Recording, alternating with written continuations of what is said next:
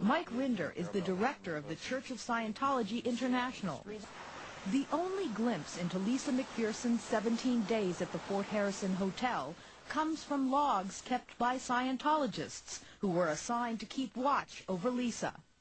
Despite Scientology's efforts to keep them confidential, the courts have made them public. The logs show Lisa's physical and mental state deteriorating over those 17 days. Rest and relaxation sounds like a wonderful idea, but the records say that two days into her stay, she was spitting out food and vomiting.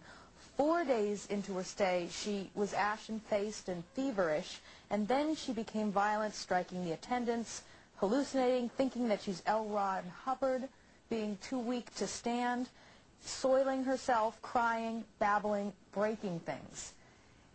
At that point, isn't it clear that it's not working? What's not working? Resting, taking her away from the stage. No, I don't think that that's clear at all. I, I don't think that, that you can draw inferences or conclusions from what is said. Uh, you know, you can read other reports, and later on there is a different perspective of what are the was going church on. Of course they are.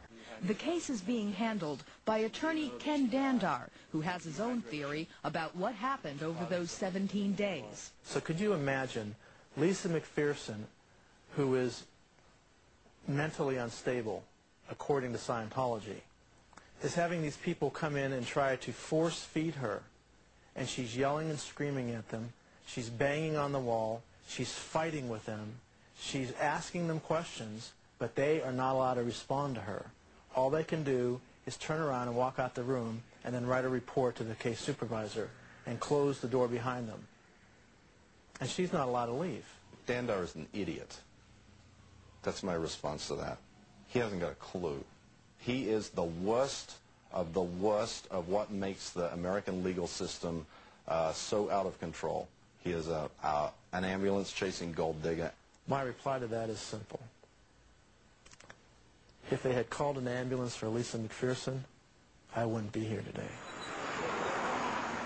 The Scientologists never did call an ambulance. But on the 17th day, Lisa was at last taken to a hospital in a church van. It didn't take Lisa to the closest hospital, which was just a few blocks away, or the second closest, or the third, or even the fourth nearest for that matter. Instead, they drove to New Port Richey Hospital, 45 minutes away, and it was during those 45 minutes that Lisa McPherson died. She certainly would have made it to the hospital that's only a few blocks down the road, alive, and where she would have been provided the appropriate care. Why was Lisa taken so far away when it was clear that she was ill?